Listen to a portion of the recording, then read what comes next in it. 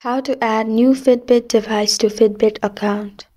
Hi everyone, it's Sophia to assist you today without any delay. Let's jump right in.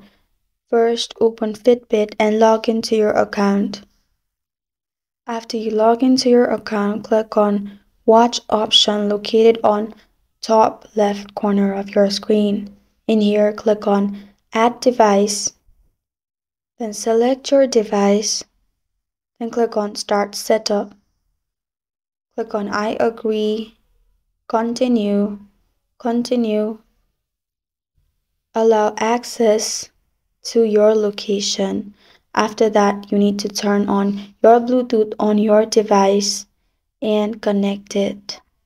And that's how you add new Fitbit device to Fitbit account. Thank you for joining me today. If this video helped you out, please leave a like and subscribe for more. Got a question or want to suggest a topic? Comment below. I am Sophia signing off. Until next time.